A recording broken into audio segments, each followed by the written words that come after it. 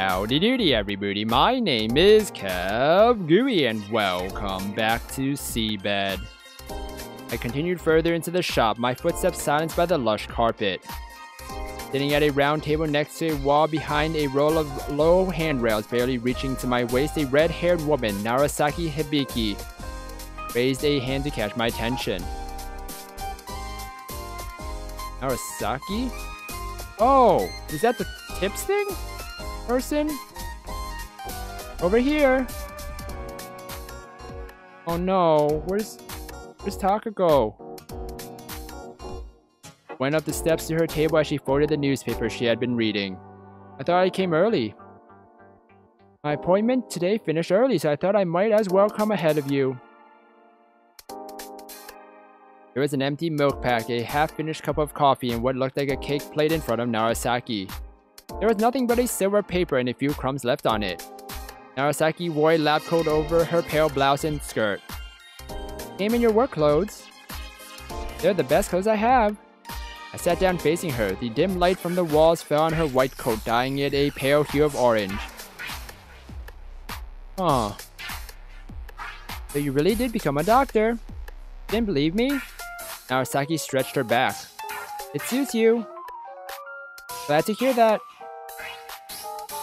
Narasaki curled her lips slightly, letting out one of her characteristic sighs. I hope I didn't ruin your schedule by contacting you out of nowhere. Don't worry about it. It's been a while since we've last seen each other, so I was curious about you myself. When was it, back in elementary school? Don't remember? I narrowed my eyes, scanning through my memories, when Narasaki gave me a dismissive wave of the hand. It's okay, not like it was anything important. You say so. Huh. Waiter placed a cup of steaming coffee in front of me. Then placed a full cup of sugar cubes in a small milk bottle next to it before wordlessly returning to the counter. I stirred my coffee with a spoon, creating a miniature whirlpool in the middle as I poured some milk into it. My small white whirlpool kept on spinning. Hmm. I sat there satisfied with my whirlpool, I heard Narasaki chuckle. What? Oh, don't mind me. Her eyes were fixed on my hand stirring the white coffee. I left the spoon on the tray and took a sip from my coffee, letting its familiar bitterness spread across my mouth. I felt as though Narasaki was snickering at me again. They have good cakes here. You want me to guess what you've ordered? Try your luck. A rare green tea flavored cheesecake. How did you know? Can tell from the wrapping paper. Oh. Narasaki picked up her own cup. You like it? Yeah. Particularly the cream. I wonder if they use condensed milk with it or something. It's a bit like the mochi ice cream they sell back home. Now they mention it, that sure brings back memories. You think they make their cakes here? No, they bring them over from the cake shop next door. Are the same brand. Hmm. You like that you can buy something there on your way home. Mm-hmm. I personally recommend the sunflower. What kind of cake is that? The fruit cake with a chocolate base. Lots of cream in it too. I see. Maybe I'll check it out. I recommend it. As the background music that filled the shop slowly faded out, a melody of some classical piece soon took its place. Narasaki looked around the shop. Anything wrong? I thought it was pretty convenient for a cafe and a confectionery to pair up like this. Does such a thing as inconvenient pairing even exist? There's a place near where I live that runs both a cafe and a barbershop. Hmm? Yes, you can enjoy a drink while you get your hair done, but that means there's little point in going there if all you want is a cup of coffee. Perhaps you have something to make it compelling. You can never tell unless you go check it out yourself. I guess it needs further investigation. Glancing at my wristwatch, I noticed how almost half an hour had already passed. We've only been chatting for half an hour, so don't worry. Think so, yeah. Checking the time, are you in a hurry or something? You look that way? I thought it was normal. Hmm. Should have contacted you earlier, but you always end up having some sort of work pile up at the worst of times. You're busy? I've had my hands full lately, yes. With work? Yes. I've heard you were in the design business. That's right, I'm running my own company. Okay, so yeah, this is definitely way into the future than what we uh, we experienced before with uh, Takako. That means I have a bad feeling something did happen to Takako. Oh. Who told you? Hmm. Good question. I don't quite remember anymore. I see. Is your, is your office nearby? Yes. Hmm. And can you make a living off it? By. I'm getting less offers compared to before the economy crashed. But there's still enough of a demand. Hmm. Well, just me and three employees, so brings in enough money to sustain four people at least. So you were saying you're getting less offers, but you're actually getting busier? Pretty much. Get more hectic after Takako disappeared. Oh no! Maybe she... Okay, she didn't die, but she disappeared. Takako disappeared, and that's where there's a memorial for her. How long has she been has she disappeared? Oh no! Wasn't easy finding someone to fill her spot. Disappeared? Yes. You remember her? Remember the three of us playing together when we were kids? Yeah. Yes, that's her. We even started the company together, but then she goes and vanishes without a trace during a crucial time like this. Just how uncontrollable can she be? Drives me insane sometimes. Wait. Wait, wait, wait, wait, wait, wait, wait, wait, wait, hold, hold on. I just recalled something.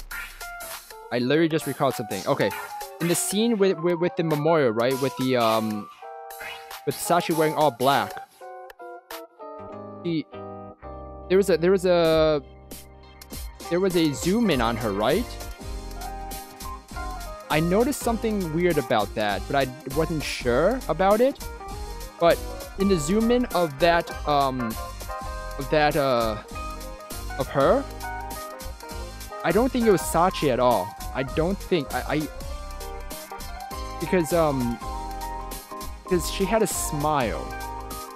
There was a smile on her face. I believe it was a smile.